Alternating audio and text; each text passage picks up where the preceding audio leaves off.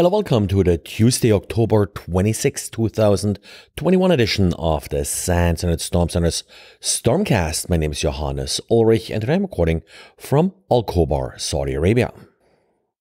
Yesterday I mentioned how Didier published a tool to decrypt the command and control traffic from Cobalt Strike using leaked secret RSA keys. The traffic is typically encrypted, but a number of secret keys that are often used by malicious Cobalt Strike installations have been leaked and uh, Didier's tool is able to use these keys to then hopefully decrypt the traffic. Now, today Didier did publish a diary walking you through how this decryption works and how to use his tool. As a sample, Didier is using a packet capture that Brad posted, and uh, this packet capture does show you the complete infection chain with Cobalt Strike and additional malware. So Didier was able to demonstrate his tool, and yes, luckily, of course, uh, that particular traffic was encrypted using one of the leaked keys that is incorporated in Didier's tool. And Discourse is an open source discussion platform, or some people may call it a bulletin board, has released a critical update to patch a remote code execution vulnerability. Don't mix it up with Discord, the uh, online uh, chat software. This is sort of more your good old uh, web based uh, bulletin board, but still important that you patch it. We have seen a lot of attacks against uh, similar products in the past whether it's, of course, good old PHP bulletin board or some of the similar products.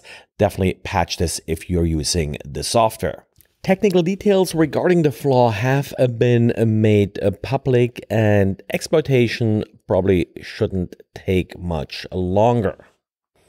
And we got yet another compromised NPM package. This time it is UA Parser JS. The package apparently had been downloaded several million times a week and is typically used as the name suggests to parse the user agent the malicious versions, and there are several versions of the package that have been compromised up to version 1.0.0 are including keystroke loggers, another malware that uh, may steal secrets from affected systems. So if you find this malware on your system or this library, I should say, then uh, you should assume that any secrets stored on the system have been compromised.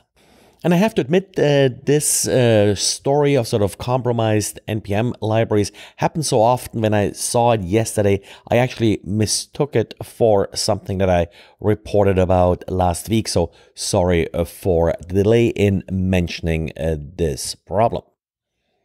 And Caleb Stewart from Huntress uh, came across uh, ransomware infections that apparently started out with a SQL injection vulnerability in BillQuick.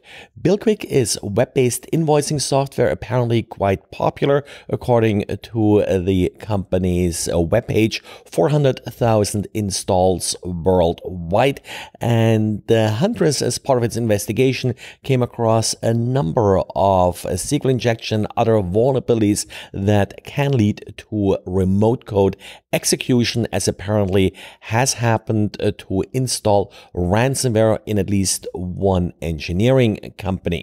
Work is underway to patch these vulnerabilities. Some patches may already be available, but uh, Huntress has discovered numerous vulnerabilities, and not all of these vulnerabilities have been patched. I'm personally not familiar with the software, so don't know if it's feasible uh, to restrict access to the software itself any further. Part of the vulnerability was apparently also in the login system, so the authentication that uh, the software itself provides is probably insufficient in order to protect against exploitation. Well, and that's it for today. So thanks again for listening and talk to you again tomorrow. Bye.